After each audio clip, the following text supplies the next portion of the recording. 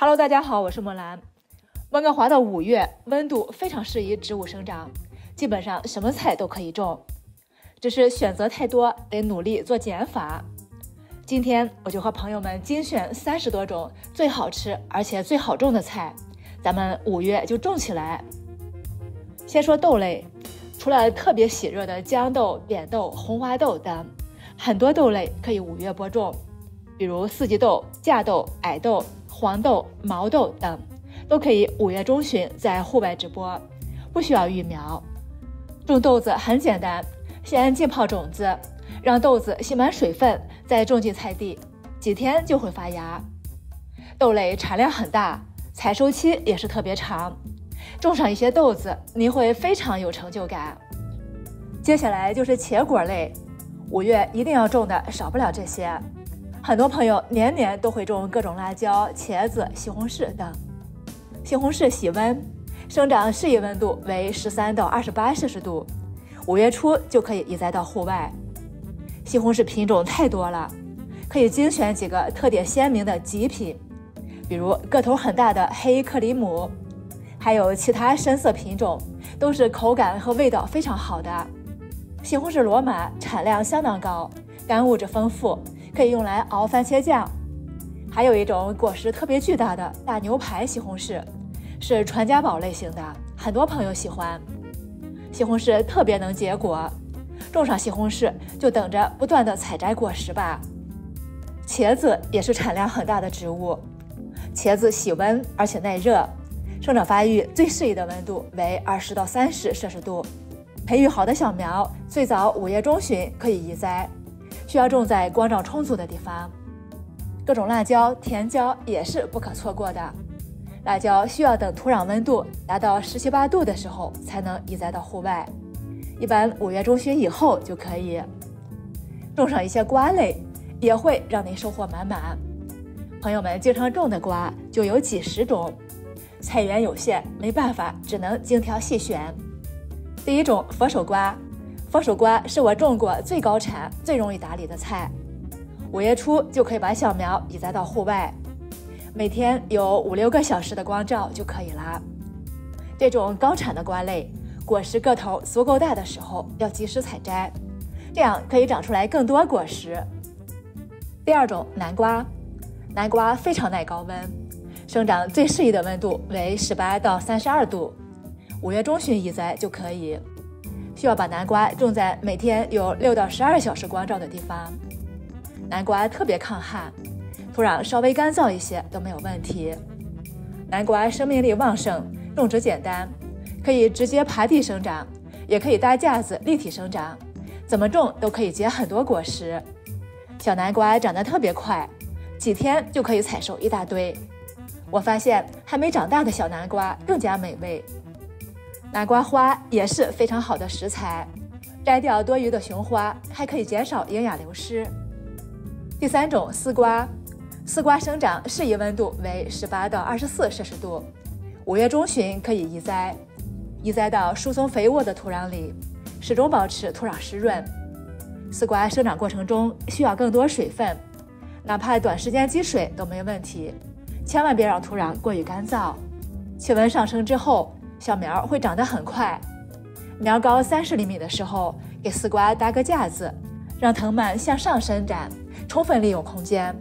如果可以长出来足够多的藤蔓，就能获得很多丝瓜果实啦。第四种冬瓜，冬瓜是喜温植物，怕冷，低于十度就可能被冻伤，所以等到五月底气温上升的时候移栽，小苗会长得比较快速。随着温度上升。只要保持土壤湿润，不久会长出来很多叶子，藤蔓也就变得郁郁葱葱了。到了秋天，你会获得很多冬瓜。第五种西瓜，西瓜同样喜温怕冷，五月底把小苗移栽到户外，确保水分充足，西瓜苗会逐渐长成一大片，结出来的西瓜个个甜美多汁。第六种甜瓜，最早五月下旬可以把甜瓜苗移栽到户外。如果没有苗，五月下旬直播也可以。温度达到了，小苗会长得很旺。种甜瓜需要搭架子，保持土壤湿润，之后就是等待收获了。第七种黄瓜，黄瓜比较怕冷，生长最适宜的温度为十五到三十摄氏度，可以等到五月中旬室内育苗，六月移栽到户外。移栽之后，小苗长得很快，黄瓜不能缺水，一定要保持土壤湿润，不久就会长出来很多花苞，很快就可以采收黄瓜了。黄瓜采收期特别长，一直到深秋。第八种西葫芦，西葫芦最适宜生长的温度为二十到二十五摄氏度。五月中旬可以把西葫芦苗移栽到户外。西葫芦不耐干旱，需要充足的水分。如果还没有育苗，五月可以在户外直接用种子种。西葫芦占地面积比较大，产量特别高，种上两三棵就吃不完。坎瓜、护瓜、鱼翅瓜等这些瓜类都比较耐高温。而且非常好种，可以五月上半月育苗，随后移栽，也可以用种子直接种。苦瓜和地瓜特别喜热，在夏天最热的时候长得还是不错的。但是温哥华热天太少，要想它们有好的收成并不容易，需要各种措施提高环境温度。不想麻烦或者菜地不够大的话，还是舍弃吧。当然，绿叶菜也是五月菜园不可或缺的。第一种地瓜叶，地瓜叶是很多朋友喜欢的菜，商店里卖的往往比较老，自己种更划算，可以随时采摘鲜嫩的叶子。最早五月底可以把地瓜苗移栽到户外，温度足够高的话，小苗长得很快，不久就会长出来一大片，每天都可以摘到一堆地瓜叶。第二种木耳菜，木耳菜喜热，是典型的夏季绿叶菜。五月底可以育苗，温度保持在二十度以上，一周左右就会发芽。二十五度左右的时候，木耳菜生长迅速。如果阳光和水分充足的话，整个夏天木耳菜可以采收很多次。第三种苋菜，最早五月底可以户外直播各种颜色的苋菜。种苋菜不能太早，温度不够的话不容易发芽。到了夏天，苋菜长得飞快，可以不断的掐尖儿采收嫩芽。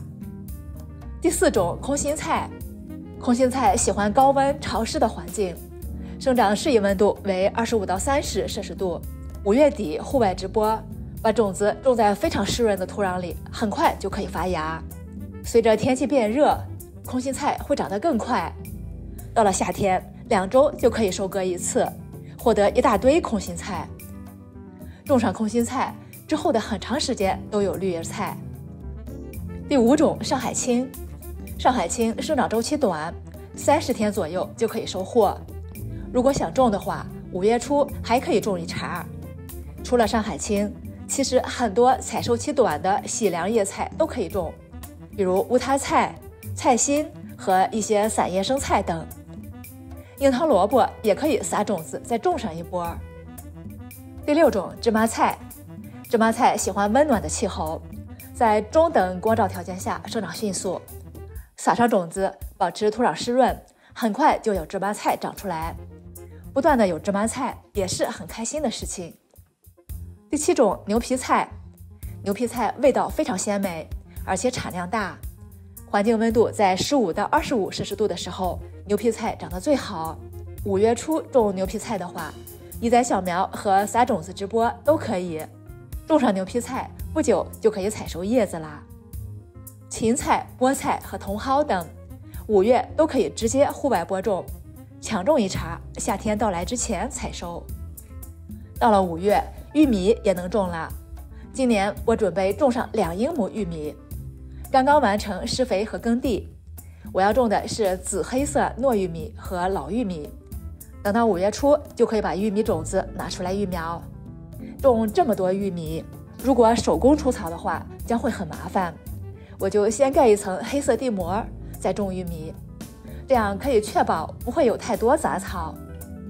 还有秋葵，秋葵对温度要求比较高，生长最适宜的温度为二十六到三十五摄氏度。需要看天气情况，到了五月底再决定是否移栽到户外。